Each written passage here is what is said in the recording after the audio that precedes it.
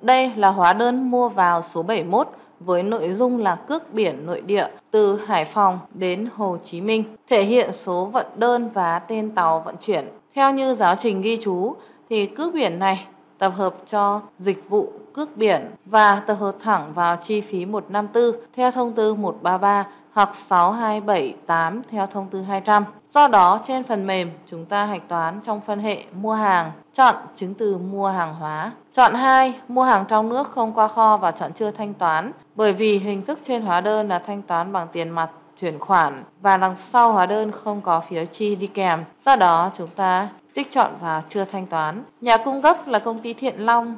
Tôi tìm kiếm tên Thiện Long.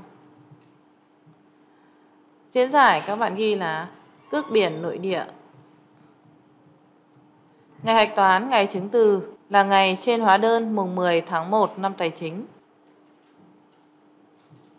Xuống phần hàng tiền, cột mã hàng, tôi tìm kiếm cước biển nợ cho tài khoản 154 theo thông tư 133 hoặc 6278 theo thông tư 200. Nợ tài khoản 1331 thuế giá trị gia tăng đầu vào và có tài khoản 331. Số lượng, đơn giá các bạn có thể điền hoặc bỏ qua. Thành tiền 5 triệu 727.272 đồng. Tiếp theo, xuống dòng thứ hai cũng là cước biển nội địa từ Hải Phòng đến Hồ Chí Minh với vận đơn và mã tàu ký hiệu khác. Số tiền cũng là 5 triệu 727.272 đồng.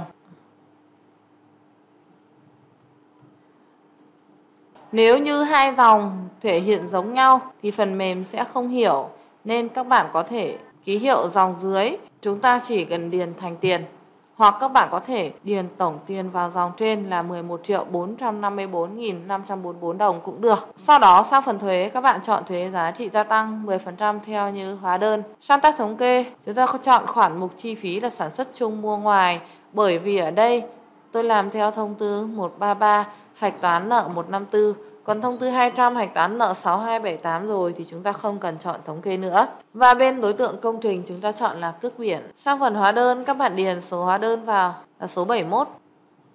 Kiểm tra tổng tiền hàng, tiền thuế tổng thanh toán 12 triệu 599.998 đồng bằng đúng tổng tiền thanh toán ở trên hóa đơn. Đúng rồi thì chúng ta nhấn cất đóng dữ liệu lại. Phần mềm cập nhật chứng từ vừa hạch toán trong phân hệ mua hàng, tab mua hàng hóa dịch vụ. Chọn kỳ các bạn cần xem và nhấn lấy dữ liệu. Nếu như hạch toán sai thì chúng ta click vào chứng từ bỏ ghi và sửa.